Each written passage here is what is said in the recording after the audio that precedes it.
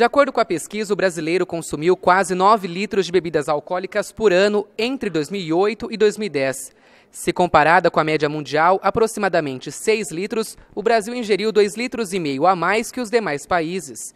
Segundo este médico psiquiatra, o aumento tem justificativa. As bebidas alcoólicas estão chegando cada vez mais cedo aos adolescentes. Além de ter esse papel de passar uma ilusão das bebidas consumidas, a cerveja representa 60%.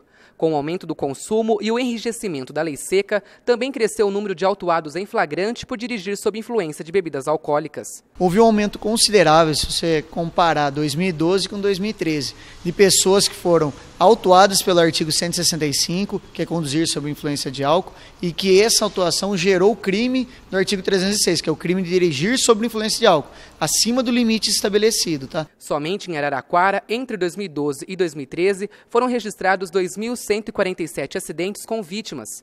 Entre o período, 255 motoristas foram autuados e 170 detidos. Segundo o tenente da Polícia Militar, a alteração da lei seca no ano passado é a maior responsável pelas autuações. Na verdade, tirou aquela, aquela tolerância mínima, a regulamentação em relação ao valor de prova do etilômetro, outros meios de provas que são possíveis através da observação, através de vídeo, através de fotos. Então tudo isso somou, além do que, que intensificamos essas operações. Então mais condutores foram flagrados sob influência de álcool. Para o psiquiatra, os efeitos estimulante, desinibidor e relaxante da bebida impulsionam o indivíduo a consumir mais.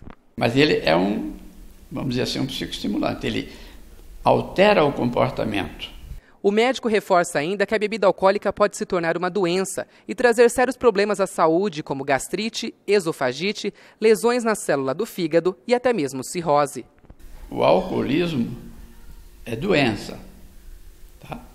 E se é doença, precisa ser tratada. Assumir a doença é o melhor caminho para o tratamento, além da conscientização. Ingerir bebida alcoólica e dirigir não é legal, porque ela coloca em risco a sua segurança, dos demais.